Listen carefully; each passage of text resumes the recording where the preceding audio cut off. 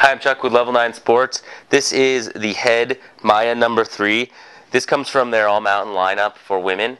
Uh, this nice little ski will give you all kinds of all mountain performance.